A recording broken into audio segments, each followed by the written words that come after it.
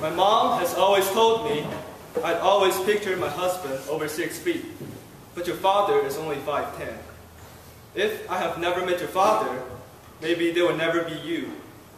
I know she just wishes I could be a little bit taller, but what if her expectation really came true?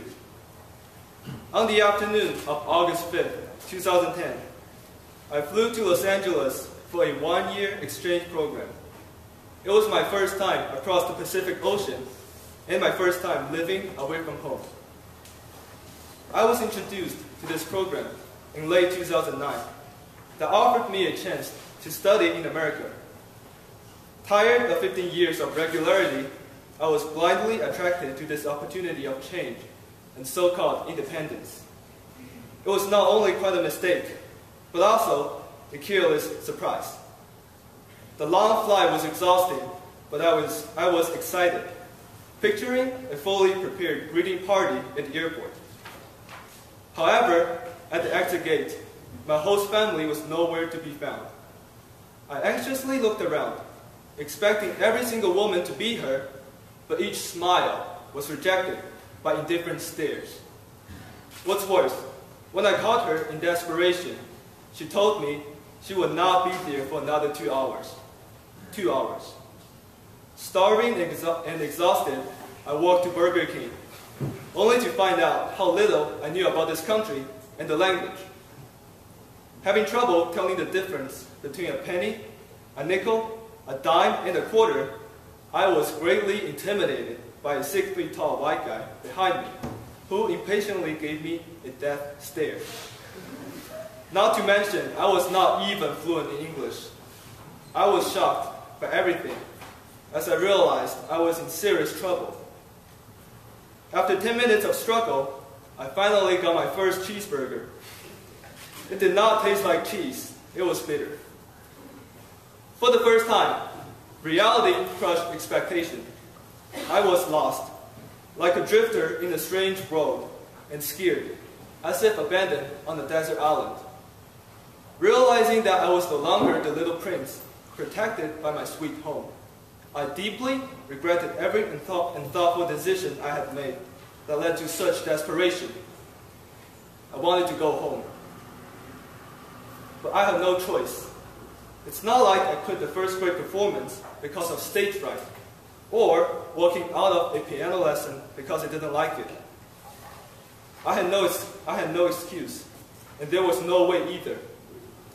It's like I was forced to the edge of a cliff. If I ever wanted to survive, I had no option but to bounce back, and no one but myself to rely on. So when my mom called me from home to check if everything was okay, I lied to her. I said, Mom, don't worry, everything is awesome. Unlike before, I was actually proud this time. When my host family finally showed up exactly two hours later, I did not complain, but rose up from my seat and gave them a big hug. Every time the language barrier kept me isolated, I would remind myself of that first day of misery and push myself out of my comfort zone.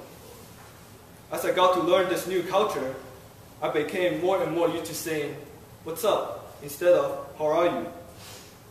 Not able to drive or willing to bother my busy host family, I biked four miles of mountain road every day to my internship.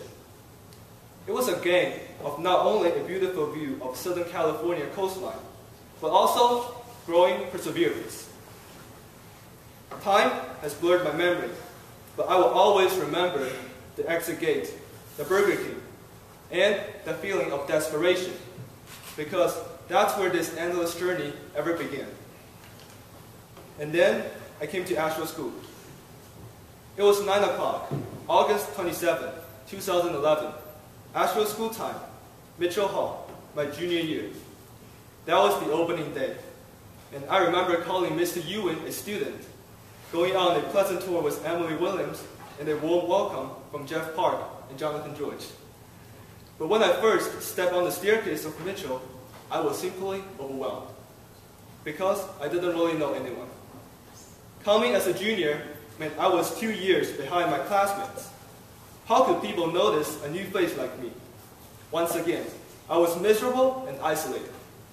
So when I lay down on my bed, staring at the crazily high ceiling of First Lawrence, I was thinking about leaving. But regrets are overrated. The more I thought about it, the more resilient I became. Based on my previous lesson, I just had a blind confidence that things would not be that bad as long as I could keep being myself. I am not going to lie, but that was the best sleep I have ever had here at Asheville School. I remember it took me almost an hour to tie my first tie on the first school day. Fortunately, I woke up at 6 o'clock. I remember after my first basketball game, Patricia Moeller walked up to me outside Lawrence and said, Good job yesterday.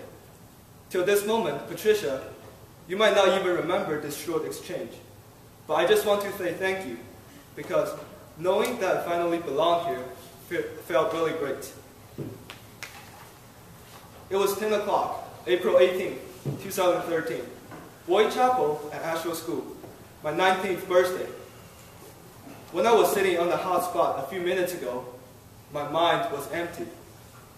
Back when I was a young boy, I had never imagined coming to another country for school. And now, I have to rely on my second language for my daily life.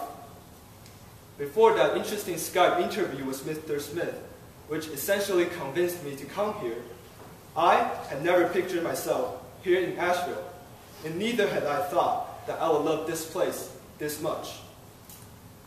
It's almost time for graduation, but I'm just not ready to leave.